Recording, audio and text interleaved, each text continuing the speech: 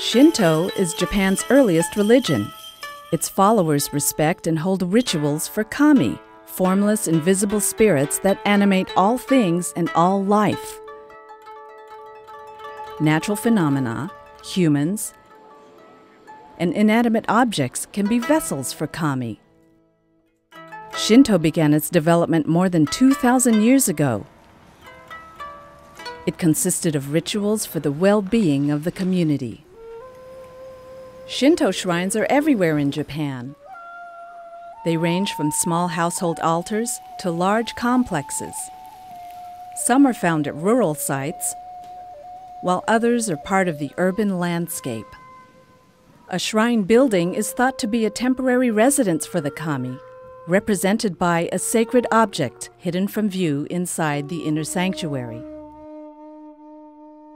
Visitors to a Shinto shrine enter through an archway called a torii. The torii separates everyday space from sacred space.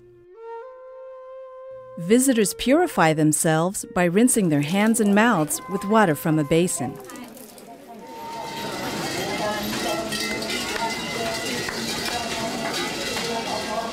In front of the shrine, they call for the kami's attention.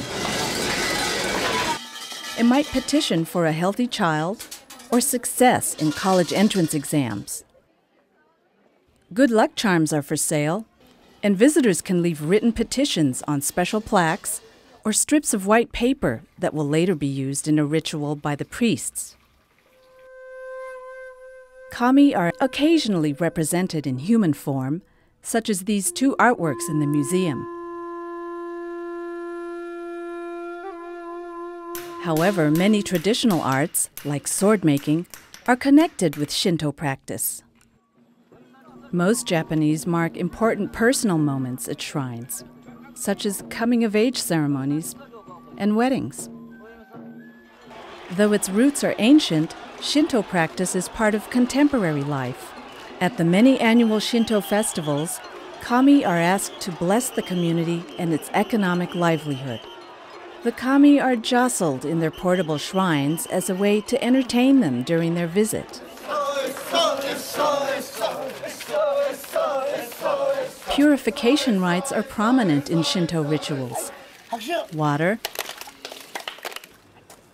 and even fire are used.